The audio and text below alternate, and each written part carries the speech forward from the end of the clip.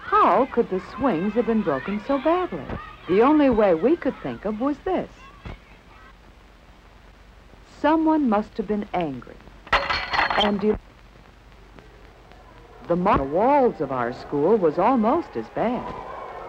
Some people seemed to think it was funny to mark up the walls and make them ugly. They forgot how much work it would be to clean the walls.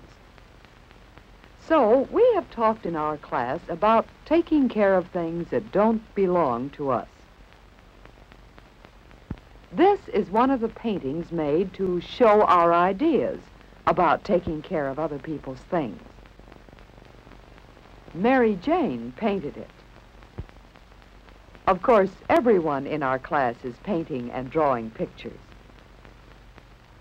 But Mary Jane has worked especially hard.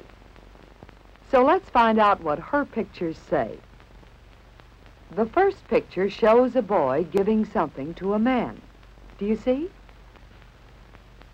Well, this is the story Mary Jane means to tell. It begins as Kenneth finds a billfold. What should he do?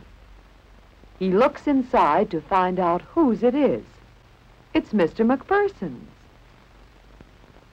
Kenneth knows who it belongs to. So, what should he do with it?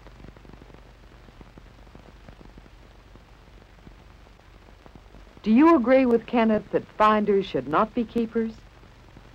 Returning other people's things is important, don't you think?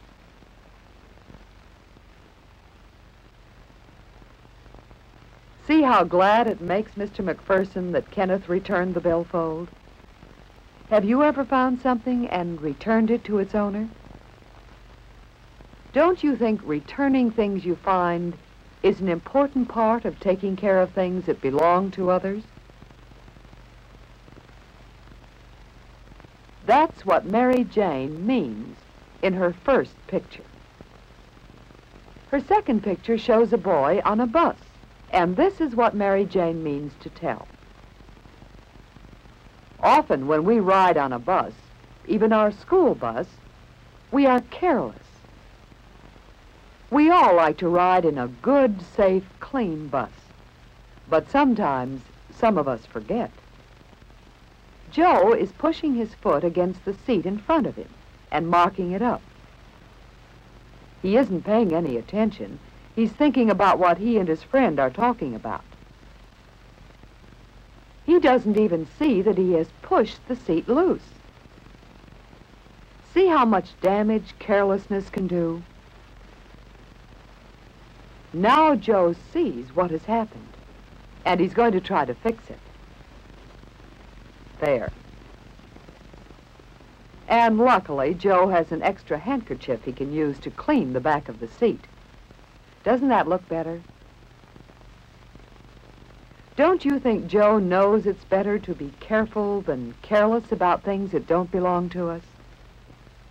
Yes, it's much better to be careful.